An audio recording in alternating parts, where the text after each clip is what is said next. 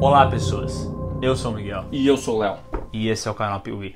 Dia 6 de setembro estreia nos cinemas o filme A Freira, baseado no personagem Valak de Invocação do Mal 2.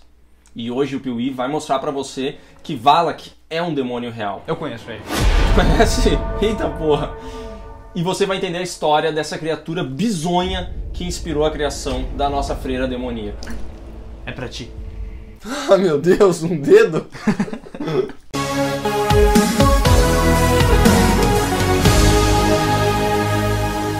Se você assistiu Invocação do Mal 2, uma das partes que com certeza te chamou a atenção foi a parte que aparece aquela freira do capeta, velho. Aquela freira demoníaca desgraçada que realmente me dá medo. Fiquei apavorado. No decorrer do filme, a gente vê a personagem principal, a Lorraine Warren, falando que esse demônio se chama Valak Opa. e que ele é um demônio real conhecido como o Senhor das Serpentes. Isso poderia ser tudo coisa da cabeça do James Wan, o diretor do filme e criador dessa série, né?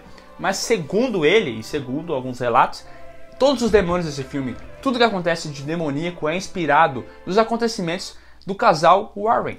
Caso você não saiba, o casal Ed e Lorraine Warren é muito conhecido no mundo inteiro por terem sido os maiores investigadores paranormais da história. Esse casal é muito midiático. Eles até tinham um programa de televisão que acompanhavam a vida deles para saber se aqueles casos que eles estavam eh, resolvendo eram realmente reais. Se aquilo tinha um fundo de verdade. Então era um bagulho meio tenso mesmo, que o nego achava que era real.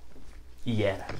Entre os casos mais conhecidos que foram investigados pelo casal Warren, a gente pode citar aqui o de Amityville, no qual um homem chamado Ronald DeFell Jr. assassinou seis pessoas da própria família a tiros enquanto elas dormiam. E segundo ele, ele só fez isso porque ele ouvia vozes que falavam isso pra ele. Coisas como Mata tua família. Você tem que matá-los. Mata ele, vai. Se você assistiu até aqui, se inscreve no canal Piuí, deixa seu like nesse vídeo. Os Warren foram chamados para investigar esse caso. E segundo os relatos deles, do que, que tinha naquela casa e tudo que aconteceu, foi a inspiração para o Jay Anson, o criador da, do livro Horror em re- realmente fazer o livro dele. E depois esse livro, do Horror em Amityville, gerou um monte de filme e um monte de outros livros. Tudo por causa desse caso do DeFell Jr. E tudo por causa do casal Warren, que diferente da polícia, acreditava que lá naquela casa de fato existia uma presença demoníaca. E os relatos deles, as fotos e até algumas evidências, elas eram tão palpáveis, não a ponto de convencer todo mundo que isso realmente acontecia, mas a ponto de deixar todo mundo com uma pulga atrás da orelha e realmente se perguntar assim: "Ah, será que tem alguma coisa acontecendo nessa casa? Ah, mas isso aqui é meio estranho, isso aqui é meio estranho.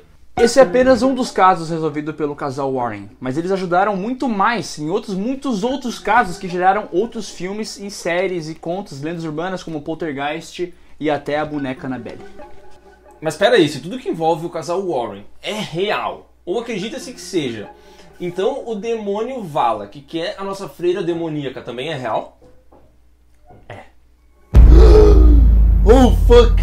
Existe um grimório datado do século 17 do próprio rei Salomão, chamado Getia, a chave menor de Salomão. Caso você não saiba, um grimório é um livro que na Idade Medieval era utilizado por bruxas e feiticeiros. Dentro de um grimório existem várias receitas de poções, magias e invocações malucas para que essa galera pudesse tocar o terror, né? E no Getia, que é esse grimório escrito pelo rei Salomão, cara, lá dizia como invocar 72 demônios. Pega essa, 72 demônios, cara. Mas, ah, É muito demônio. Pá, tô precisando, É muito demônio. tô precisando levantar uma parede aqui em casa. Chama os demônios. Chama-se com o demônio. Tá sozinho em casa, não tem o que fazer? Chama quatro demônios. Tá, mas peraí, o que isso tem a ver com o filme? Por acaso a Vala que tá lá? Então, meu querido, Valak está no livro Goethe. o demônio de número 62 é ninguém menos do que Valik. Que Mudou nesse caso é. Ah, é porque é um demônio versátil. O nome dele é descrito de várias maneiras. Valik com IK, Valak, Valuk, Ulak. Ulak. Tem várias maneiras, mas esse demônio existe e ele está nesse grimório. Nesse livro, o Valak é descrito como o demônio presidente do inferno. Nosso Michel Temer, um brinde. Então, o que acontece? Como ele é o presidente do inferno, ele tem uma legião de demônios que trabalham pra ele. Então ele é muito poderoso. E um dos outros poderes dele, segundo esse livro, é poder acalmar as serpentes. Poder acalmar e controlá-las. Por isso que a Lorraine fala que ele é o senhor das serpentes. Pou! Essa associação até pode fazer sentido, mas tem uma coisa que não faz sentido nenhum no filme, que é o seguinte, no, no Grimório Getcha, Valak é descrito como uma criança de olhar inocente que anda montada sobre um dragão de duas cabeças. Caralho. Ou seja, no filme virou uma freira. É, porém, esse é só uma das formas dele. Tá? Hum. E no trailer do filme ali, dá a entender que a gente vai ver outra forma dessa freira. Ela vai aparecer diferente. Ela vai aparecer com a sua identidade real. Olha só, ela vai aparecer como uma criança montada num dragão de duas cabeças. Não, seria incrível. o conjunto de habilidades do demônio Valak também vai muito além daquelas investidas flutuantes que a gente vê no filme Invocação do Mal 2, onde a freira basicamente sai flutuando atrás das pessoas.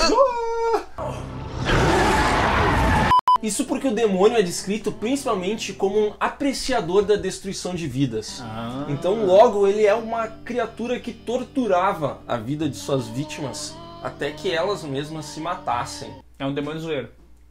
É um demônio zoeiro. Dá pra você dizer que sim. Tá, mas agora eu fiquei pensando aqui. Se a forma do demônio é diferente, se a forma como ele aparece é diferente, se só o nome é parecido, o que isso tem a ver com o Ronin MTV, o Annabelle e Invocação do Mal? Nada. Ah, nada? Nada. Legal. Porra nenhuma. Pelo menos foi o que disse James Wan, um grande fã de histórias de terror, cultos e coisas do gênero. O diretor, na verdade, só pegou mesmo o nome e uma breve inspiração desse demônio para poder criar o personagem, mas na real, o que acontece é que ele não tem os direitos autorais do filme Horror em MTV. Então, para fazer o link entre Invocação do Mal, Horror MTV, os demônios, Lorraine Warren, a freira surgiu. Ela surgiu como um personagem ali, coringa em Invocação do Mal 2, e que agora vai ganhar uma peça própria. Verdade seja dita, ele só usou esse negócio da, da freira porque é um visual muito foda, cara. É um puta visual legal. Então ele deu uma entrevista falando que conversou com a Lorraine, que era a mina que realmente faz essas investigações e tal. E ela disse que uma vez ela viu no espiral ali uma figura meio oculta com um capuz negro e tal, e ele traduziu essa informação como se fosse uma freira. E daí na hora de reeditar o filme Invocação do Mal, ele colocou aquela imagem da freira, numa refilmagem. Que é muito melhor do que a ideia de um bebê montado sobre um dragão de duas É, cabeças. vamos ser né? sinceros, um, deve ser bem zoado, né? Isso é massa. A freira foi inserida depois que o filme já tinha sido gravado. Eles já tinham gravado todo o filme e depois a freira acabou entrando como um plus a mais, né? O famoso plus a mais. E deu tão certo que agora vai ganhar um filme próprio. Você tá esperando esse filme? Você acha que vai ser bom? Se você acha que vai ser bom, já dá o like aqui, porque a gente lembrou você que esse filme vai ser lançado e falou um pouco sobre a história dele. Aproveita e comenta o que você acha desses filmes de terror e se você tem alguma história macabra pra contar pra nós. E se você curtiu esse tipo de vídeo e quer saber mais sobre essas coisas ocultas da vida, comenta aqui também que a gente faz mais. Tá bom, gente? Um beijo e um abraço. Apertado.